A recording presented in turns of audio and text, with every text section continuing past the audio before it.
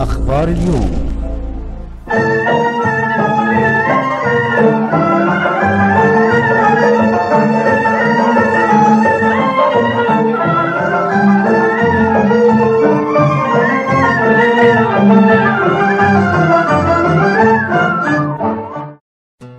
شهر رمضان في سوريا. في سوريا يستقبل المسلمون شهر رمضان المبارك بتعليق لافتات في الشوارع لتهنئة المسلمين بقدوم شهر رمضان الكريم.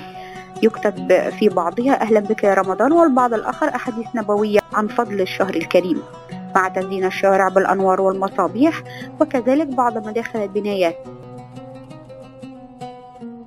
كما يطلق البعض الألعاب النارية بألوانها وأنواعها الجميلة ويزداد الإقبال على المأكولات والمشروبات وخاصة الحلويات التي تكون لها طابع ومذاق مختلف في هذا الشهر ويزداد الإقبال عليها بشكل غير عادي. وفي سوريا أيضا تشتهر التبولة والبطاطا المقلية والفطائر بالسبانخ والكبيبة النية بالإضافة إلى السمبوسة وحساء العدس المجروش. أما الأكلة الرئيسية فهي فتة المكدوس وهي من باذنجان واللحم المسلوق وخبز مقلي ولبن. أما على السحور فالطبق الناعم يؤكل عادة وهو عبارة عن رقاقات من العجين ترش عليها دبس العنب والحلويات.